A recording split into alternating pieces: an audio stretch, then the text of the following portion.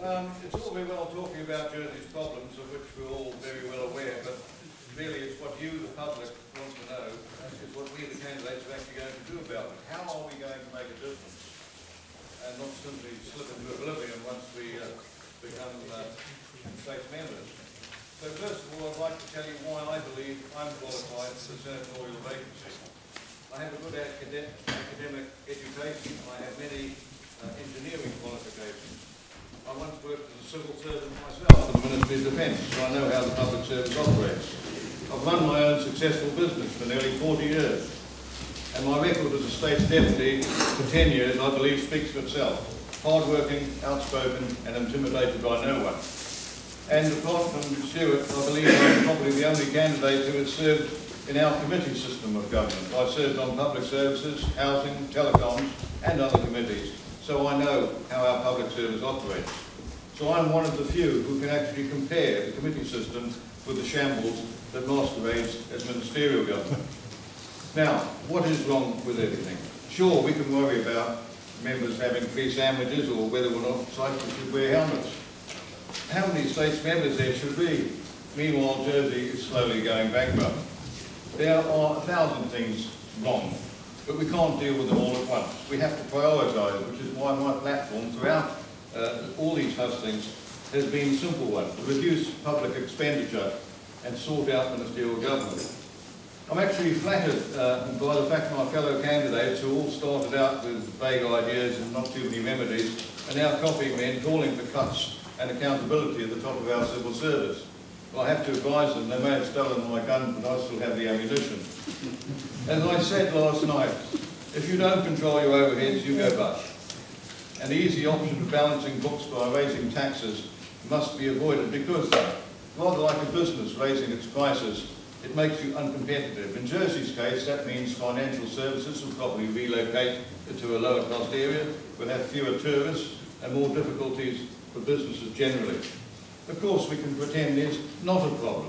We can look the other way, or um, advocate making matters worse with a tax and spend culture. Well, that's fine if we want to end up like Greece or maybe the UK. I don't want to see our island go like that. And as those other countries have found out, the longer you leave sorting the problem out, the more painful is the remedy. Jersey really is at a financial crossroads.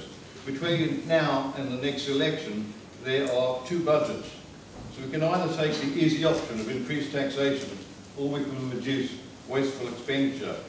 I believe it's crazy that Jersey has over 8,000 civil servants for an island of this size. A police force that's one of the highest paid in the world. I believe it's the second highest paid in the world. And departments that overspend their annual budget by around about 16 million pounds annually. So how do I propose to solve this problem? Well, for start, I'm tired of hearing that it's a waste of time of voting because one person can't do anything. What's the point? That is not true. So please make an effort to vote on the 16th. A states member can achieve much with the right propositions, provided he has the respect of his fellow members. I always did, so together with my state's experience, if elected, I would start effective work on June the 17th, something a new member could not. I was a state's member for 10 years.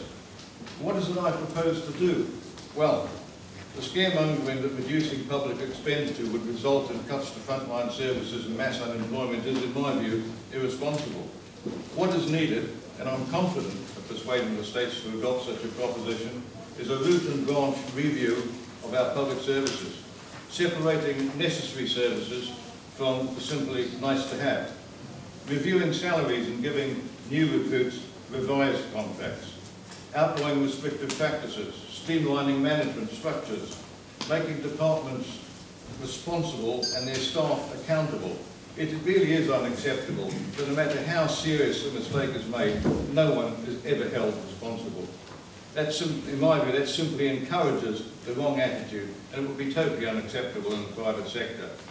Basically, in my view, we need private sector accountability and efficiency in our public sector, and I'm promising to provide it. Thank you for listening.